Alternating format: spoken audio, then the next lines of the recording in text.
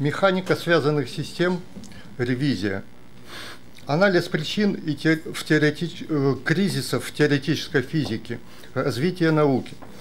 Натурфилософия – самый длительный и продуктивный этап развития естествознания. Определял явление как следствие из-за имосвязанной цепочки причин.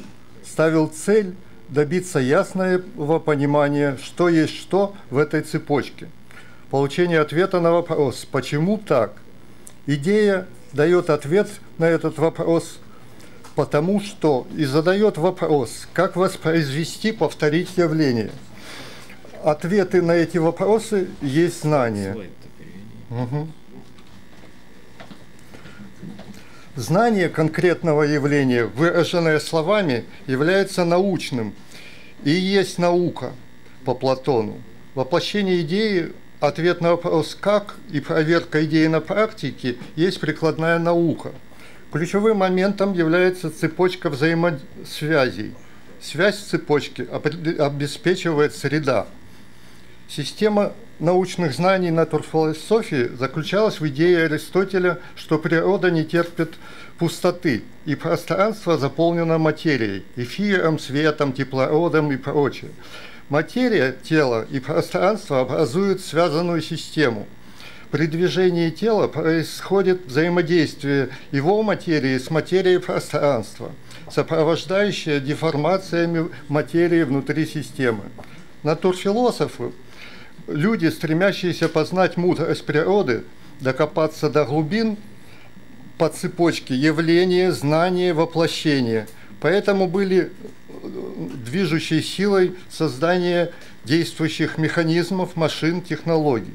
Натурфилософы занимались наукой по зову сердца, были самонацеленными, свободными, самодостаточными и работали в одиночку.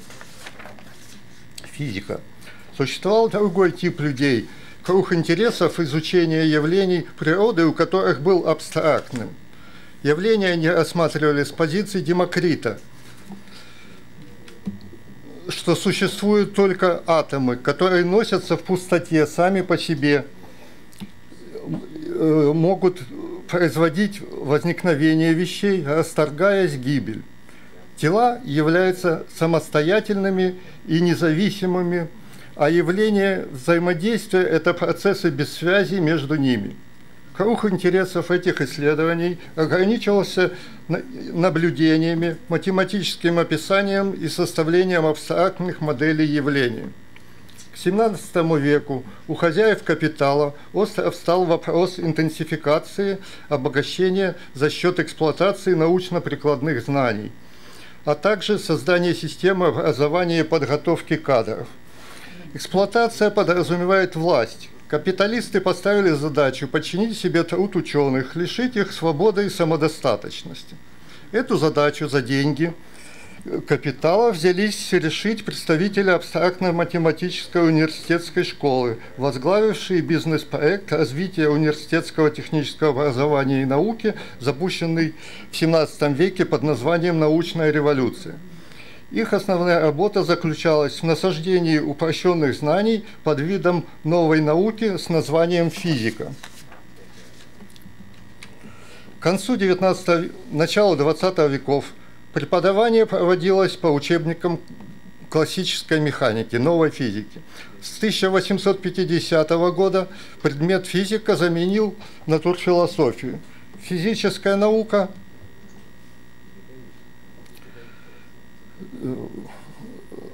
сменила парадигму на представление Демокрита в обязательном порядке, устранила все элементы системного подхода, учитывающие влияние среды, заполняющей пространство вокруг тел.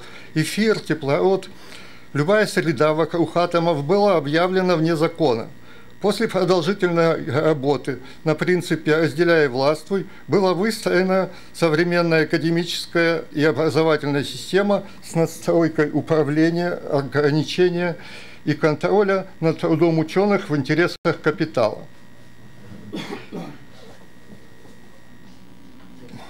Победа оказалась первой. Физика столкнулась с неразрешимыми проблемами и противоречиями. Этот кризис продолжается до настоящего времени. Теори... Цитата. Теоретики презирали неразумность экспериментаторов. Экспериментаторы смеялись над непрактичностью теоретиков. Вся классическая гидродинамика, математически строгое продолжение теоретической механики, которая оказалась ценным во многих отношениях, но тем не менее бесполезным в решении того, что было тогда и остается сейчас главной задачей инженера-гидравлика – сопротивление жидкости причины и пути выхода из кризиса. Кризис кроется в подходах к явлению взаимодействия используемых при этом основных понятий главенствующей наукой. Физике при взаимодействии тел считается, что если есть сила, есть изменение количества движения – нет силы, нет изменения количества движения. Это состояние равновесия или инерции. Все тела являются внешними относительно друг друга и характеризуются изменением их точек центра масс между собой. В натурфилософии для процессов взаимодействия тел была разработана механика связанных систем. При взаимодействии, при взаимодействии изменения энергии – внешнего тела обуславливает изменение энергии внутри тела. Эти изменения сопровождаются появлением активных силы, результирующей. Это два одновременно парных процесса, направленных на достижение равновесия, которое реализуется через их противоположность всякая система стремится к равновесию энергии, то есть к состоянию покоя, изменение энергии, э, которое исключает изменение энергии. Отсутствие изменения энергии есть отсутствие активных сил, результатирующих. Э, существует два типа реализации равновесия. Первый тип сил сжатия, когда Э, равновесие достигается сближением э, движущихся тел в точку, навстречу друг другу. Силы сходятся, э, кинетическая энергия их переходит в потенциальную. Это первый тип. Второй тип через силы растяжения, силы растяжения, когда равновесие энергии идет за счет разбегания, кинетический тип, выделяется кинетическая энергия, силы расходятся от точки приложения в противоположные стороны. При этом взаимодействие выделяется кинетическая энергия. Такой процесс сопровождается дополнительным движением системы. Если в одном направлении происходит сжатие, то в другом растяжение и наоборот. Соответствующим образом э, происходит изменение энергии. Такие парные изменения энергии в виде увеличения и падения пульсации за определенный промежуток времени обеспечивают поддержание постоянной энергии в связанной системе, которая э, я бы назвал колебательным равновесием. Внешняя энергия может поступать в систему только порциями, определяемыми пропускной способностью поглощения системы и возвращения ее в систему пульсациями, циклически. Физика процессов допустимых перемещений. Физические изменения энергии – постоянными порциями через определенные промежутки времени означают, что средняя энергия системы за конечный промежуток будет оставаться постоянной. Подобного рода процессы называются колебательными или волновыми – Физические процессы, обеспечивающие равновесие упругой энергии внутри системы из простых механизмов, математически не влияют на энергетический баланс системы и были выведены из рассмотрения как несущественные. Еще Даламбера. Физика процессов допустимых перемещений. Рассмотрим колебательный процесс на примере системы с потенциальным барьером –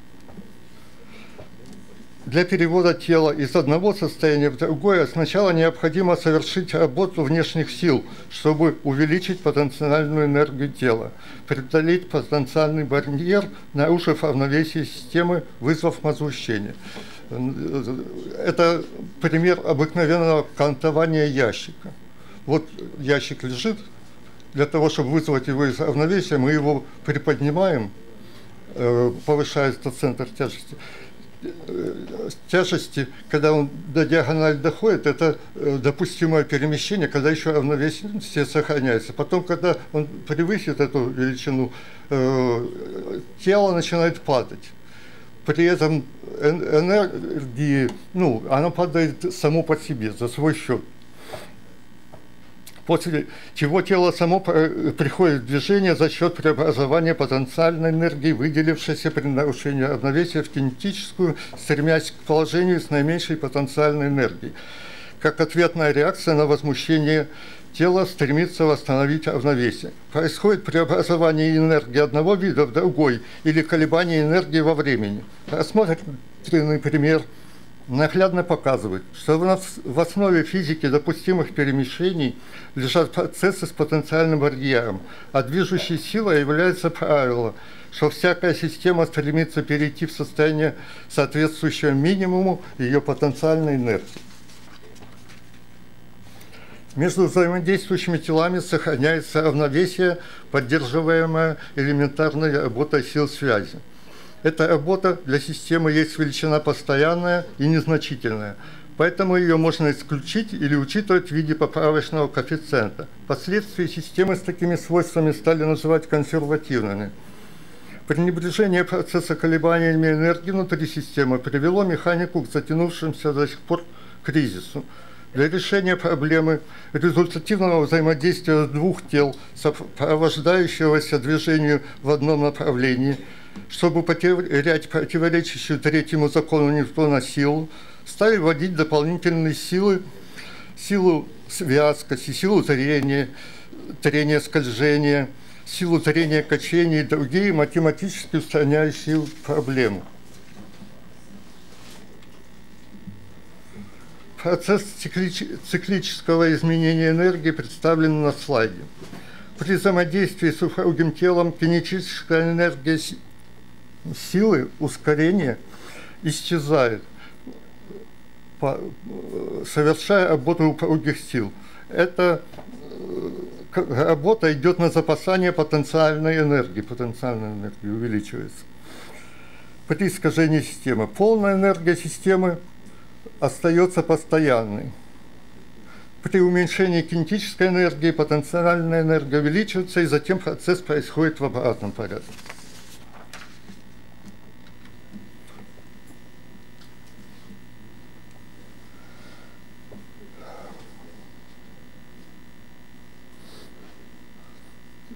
Как внутренние процессы влияют на совместное движение системы, поясним на примере подвижной цистерны с жидкостью.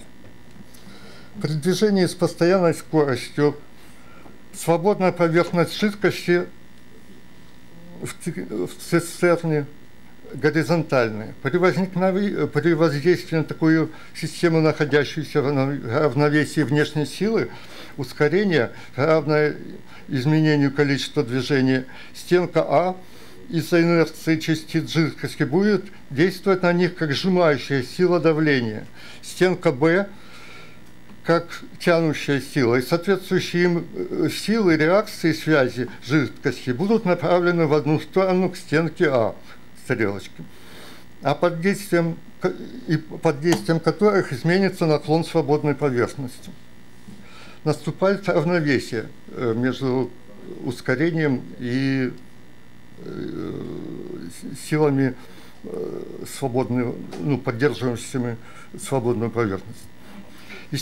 Когда э, исчезает сила, э, ну, результирующая и удерживающий уклон свободную поверхность э, э, не, не, не, нечему поддерживать. Под действием возникшего вот этого градиента давления перепада э, высот между стенками возникает поток по дну. в эту сторону. Так. От стенки А к стенке Б при столкновении его частиц со стенкой Б потенциальная энергия начинает увеличиваться, э, а кинетическая теряться.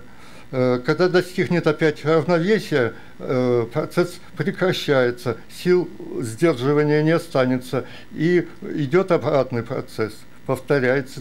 Такой процесс перехода энергии с одного, ну, с потенциальной в кинетическую и обратно повторяется, как это показано на слайде.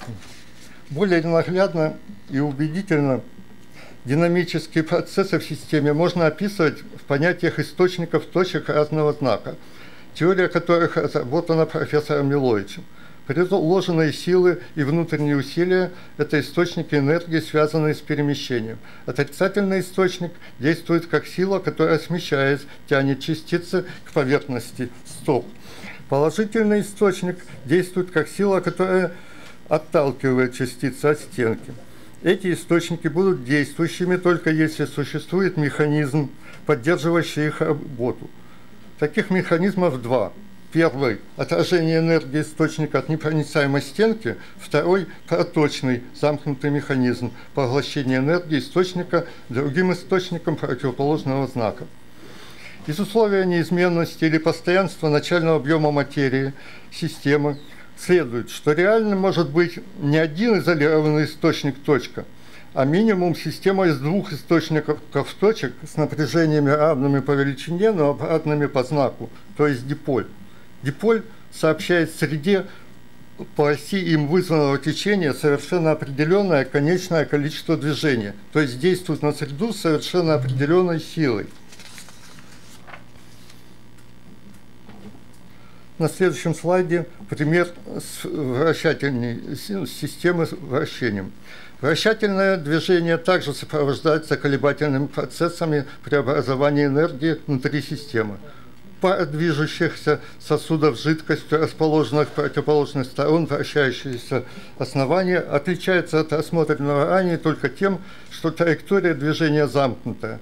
Суть процессов не меняется. Энергия колебаний внутри сосуда будет получена от углового ускорения при начале вращения. Примеры процессов колебательного преобразования энергии в системы при движении –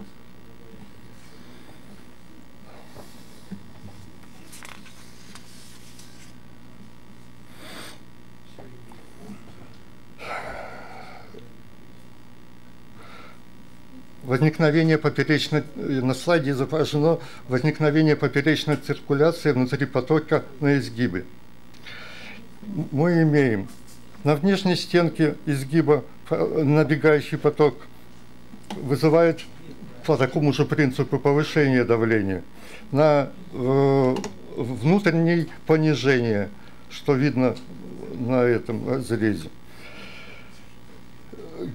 из-за градиента давления э, возникает поток по дну, по, по дну э, кинетическая энергия, отразившись от стенки, никуда не теряется, она поднимается вверх и вдоль свободной поверхности, э, пока не расходуется, поднимается вверх. Происходит циркуляция. Плане это происходит ну, винтообра... ну, парно закрученными винтообразной формы. Э, Черные это те, что по дну, по дну идет поток, а э, пунктиром показаны возвращающиеся вверх движения. Э, эта энергия э, по величине равняется кинетической энергии продольного потока, энергии поперечной, дополнительная энергия поперечной циркуляции и нигде не учитывается. Пример. Волновое выравнивание давления при обтекании. На этом слайде вы можете сами э, разобраться с вопросом изменения и перемещения энергии. Как всегда, при набегании потока на препятствие на фронтальной стенке возникает повышение давления, на тыльной понижение и соответствующий поток обтекания. Но тут интересно другое. Здесь еще существует другая волна, другое движение. По этой стенке так же само существует градиент уже с вот этим, с, этой поверхности и двигается, пока не расходуется волна вот здесь вот по кольцу. Вот так. Два типа волновых движений. Здесь энергия волновая тоже никак не используется, хотя она равняется, ну, такая же по величине, как и набегающий поток. Винтовое движение жидкости по прямой круговой трубе. Движение жидкости в трубе сопровождается появлением винтового вихревого шнура, в котором частицы жидкости катятся, вращаются. Э, в существующих представлениях э, признаются только продольный поток, а реально существует еще дополнительный э, вот, так, вот этот вихревой катящийся поток, который к центру уменьшается. Здесь они имеют максимальное величину энергии. Здесь самое распределение энергии э, имеется на графе. Современная наука их тоже никак не учитывает. Заключение. Понимание физики внутренних процессов энергетики связанных систем открывает новые подходы и перспективы в вопросах вращательных систем, вихревых взаимодействий, гравитации – Механика жидкости нуждается в пересмотре основных процессов с волновых позиций, таких как процессы истечения, формирования потока, поведение частиц в вакуумной трубке, силы реакции при истечении и другие. Актуальным является вопрос практического использования энергии колебательных процессов в новой технике и технологии. И э, в заключение хотел бы выразить ну, цель своего доклада э, цитатой Миловича, профессора Миловича. Движение частиц жидкости, как и всякого материального тела, возможно всегда разложить на два основных типа. Движение, сопровождающееся перемещением центра тяжести частицы в пространстве, и вращение частицы, как твердое тело вокруг своего центра тяжести, остающееся неподвижным в пространстве вихревое движение. Современная техника умеет оперировать утилизировать энергию только движения жидкого, жидкости первого типа. Энергия второго типа движения жидкости или энергия вихревого движения является энергией сполна теряемой. Последнее показывает всю важность для инженеров изучения этого типа движений жидкости и влияние их на форму движения всей его массы. Спасибо за внимание.